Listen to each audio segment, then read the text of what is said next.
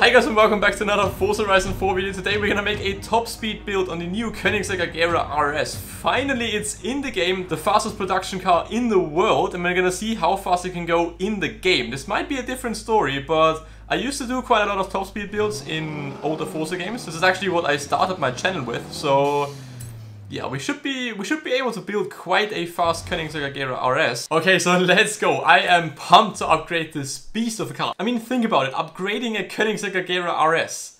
That sounds weird. It's not a car you're supposed to upgrade. It's pretty much the ultimate car from the beginning. But we're gonna see what we can do. Now, we're not gonna all-wheel drive swap it because while it does increase the top speed of some older cars, for example the Jaguar D-Type, it wouldn't help a Koenigsegg Agera RS, it just makes it heavier. However, we are gonna upgrade to drag tires, because from my experience in Forza Horizon 4 and doing various top speed builds already, it's a bit more tricky to pull off a top speed run on those tires, but it's gonna be faster, so we're gonna equip them. Now we are also gonna upgrade the tire size on both front and rear. Now I would agree this doesn't really make a whole lot of sense in real life, but it does help in the game, so we're gonna do it. Um, there aren't any lighter rims, However, we can change the track width. Again, probably not helpful in real life, but it does increase the handling ability of your car in Forza Horizon 4 a slight bit, and it doesn't decrease the top speed.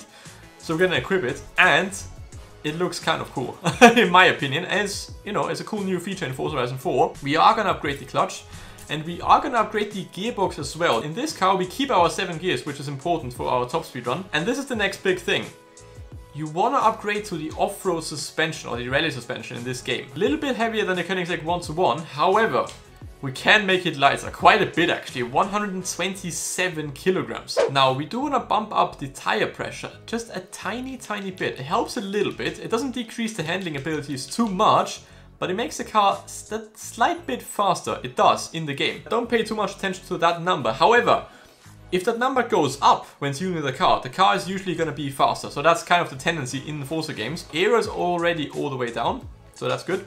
Now springs. This is a bit of a weird one, but this is how Forza works. You want to equip the highest possible suspension and go all the way down at the rear and keep it high at the front. Make it slightly less negative, around about there. Are you gonna use six gears or are you gonna use seven gears?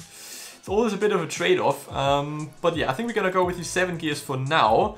We're gonna go, what, what can we get? 455, 456.2, 456.3. Now that doesn't mean we're gonna reach that top speed or, I mean, we could go even faster, but Usually if that number goes up, that's not too bad. So yeah, if you want to have a go at that setup as well, um, just search for top speed, best for speed and Monkey Agera RS and you will find my tune. I will be updating it, I will be making it even better and even faster, so yeah.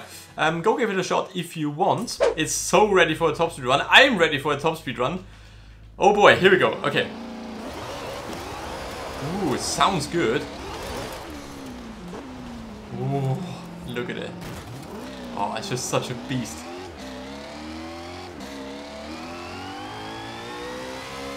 Oh, look at the way it picks up speed as well. There's not much left in terms of turning now with the drag tires and minimum downforce.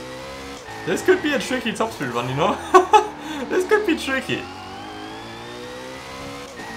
I mean, the way this thing picks up speed is just insane. Like, I'm gonna do a full-on comparison between the Chiron, this, and the Koenigsegg Agera, I think tomorrow. So keep an eye out for that one. But yeah, I think this is gonna this is gonna annihilate the Chiron, and I think it's gonna annihilate the Regera as well. 300 already. Oh boy! this is fast. This is like, this is seriously fast. What's going on there? Anyway,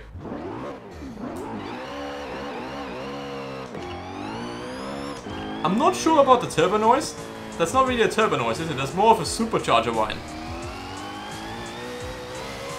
Yeah, not sure about the noise. I think they could have done a better job on that one. But I think it's time to head to the motorway. Those bends could potentially finish you, so we're gonna be careful. We're gonna lift off the throttle when we are there. I'm so glad this is finally in the game. I know it's very similar to a Koenigsegg 1 to 1 and similar to an Agera, but still, to have the fastest production car in the world in an open world racing game like Forza, that is pretty cool. That sort of speed is addictive. You just want to go faster and faster and then like there's a corner eventually. But yeah, that's... Ooh, give me the keys to that car in real life. Oh, look at it. Okay, so we're gonna go for our very first top speed run. Now, again, this could be difficult, uh, considering there's quite a lot of traffic on the motorway. I just wanna, I just wanna test it out real quick. See how fast we can go. I reckon 450. I mean, if we can go 450, it's already the fastest Koenigsegg in the game and one of the fastest cars in the game. So yeah, 450 is the target for now. Up to 400. oh, I can't look at the speedo. Oh, there's traffic. Oh no. Oh no, we're not gonna make that corner. Oh, okay. I'm gonna pull a cheeky rewind here. There's now a straight bit of road, a tunnel as well. Come on, Koenigsegg. Come on, Koenigsegg. It's not really going up anymore. That's kind of concerning. 441. Ooh.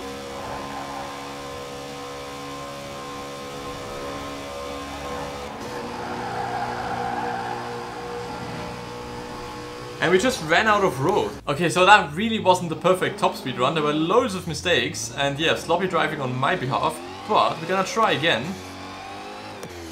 Gonna see how fast we can go. Um, I mean, 450. If we can hit 450, that's all I want. But it's tricky. It really is. We're gonna try again, see how fast we can go. Gonna lift off a little bit here. Oh, come on.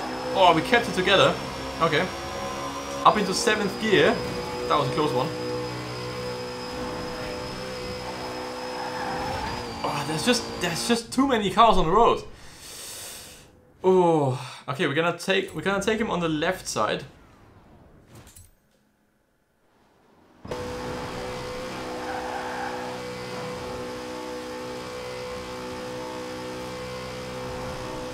Four hundred and fifty-three, four hundred and fifty-three, the new top speed record. I'm gonna rewind a little bit because I think we can still make that corner. Um, I'm gonna try. There's no way. You just lose way too much speed going through that corner. Oh my god! what did we hit there? Okay then. I mean, we've lost our spoiler, but that's not gonna help us. I'm gonna try a few more times off camera, and if I do get a better top speed run, I'm gonna put it right here. If not, that's gonna be really awkward.